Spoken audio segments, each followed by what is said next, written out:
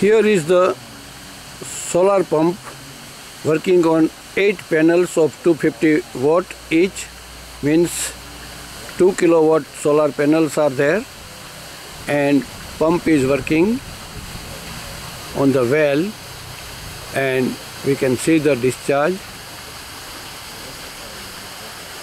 from this black pipe. Discharge is 260 uh, liter per minute.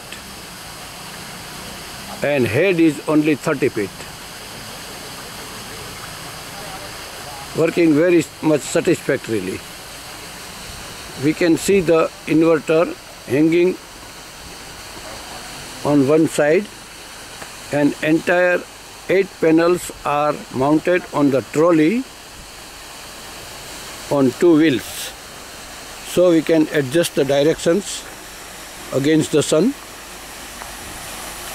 We can see the trolley on wheels.